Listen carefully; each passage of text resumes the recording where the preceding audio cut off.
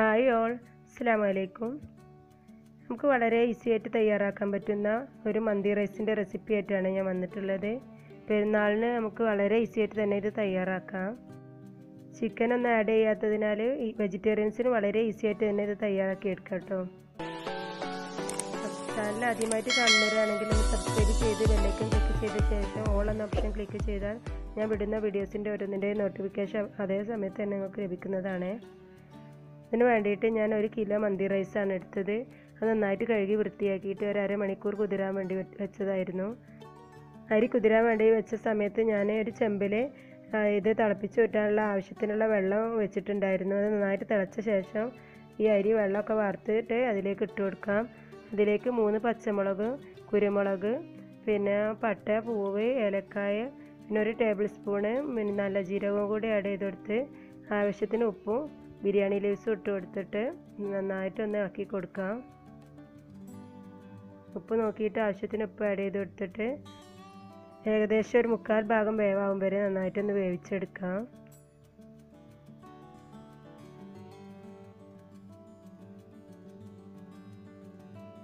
ഇതിപ്പോൾ മുക്കാൽ ഭാഗം വേവായിട്ടുണ്ട്. ഇതിന് വെള്ളം വരാൻ വേണ്ടിയിട്ട് ഒരു പാത്രത്തിലേക്ക് ഇട്ട് കൊടുക്കാം.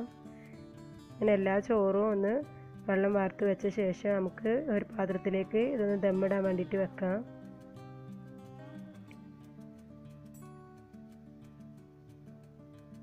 അതിന് വേണ്ടിയിട്ട് വേറൊരു ചെമ്പിലേക്ക് ഇട്ട് കൊടുത്തിട്ടുണ്ട്. ഇതിന്റെ അടുപ്പിലാണ് കേട്ടോ അത് വെച്ച് കൊടുക്കുന്നത്. അപ്പോൾ അടിയിൽ കുറച്ചൊരു കണൽ വെച്ച് കൊടുത്തിട്ട് കണലുള്ള സമയത്ത് അതിന്റെ മുകളിൽ ഈ റൈസ് വെച്ച് കൊടുക്കുക കേട്ടോ. അധികം കണൽ വേണ്ട. അപ്പോൾ റൈസ് അടിഭാഗം കരിഞ്ഞു പോകും ഇതിന് കളറിന് വേണ്ടിയിട്ട് മുക്കാൽ ടീസ്പൂൺ മഞ്ഞൾപ്പൊടിയും അര ടീസ്പൂൺ കാശ്മീരി ചില്ലി ഇട്ട് കൊടുത്തത്. അതിന് പകരം കളർ ആഡ് ചെയ്യുന്നവർക്ക് അതിനനുസരിച്ച് ആഡ് ചെയ്ത് കൊടുക്കാം. ഇതിലേക്ക് ഏകദേശം ഒരു ഇരുന്നൂറ് എം എൽ ഓയിലാണ് ഒഴിച്ചു കൊടുത്തത്.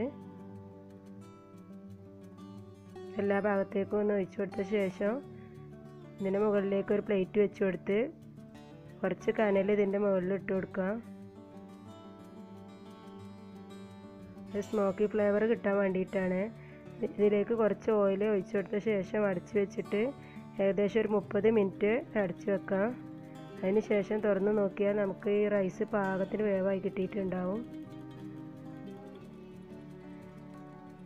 പതുക്കെ ഒന്ന് മിക്സാക്കി കൊടുക്കാം കേട്ടോ.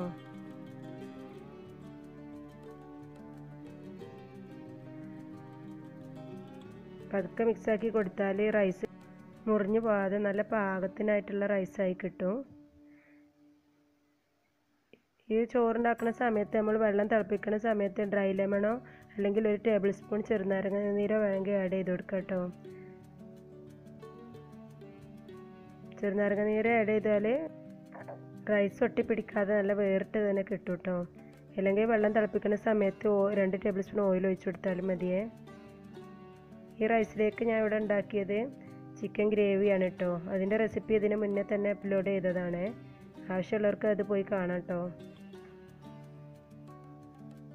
വളരെ ഈസിയും ടേസ്റ്റി ആയിട്ടുള്ള മന്തി റൈസാണ് ഇത്. എല്ലാവരും ട്രൈ ചെയ്ത് നോക്കിയിട്ട് ഇഷ്ടപ്പെട്ടാൽ ലൈക്ക് ചെയ്യാനും ട്രൈ ചെയ്ത് നോക്കിയിട്ട് ഒന്ന് കമന്റ് ചെയ്യാനും മറക്കരുതേ.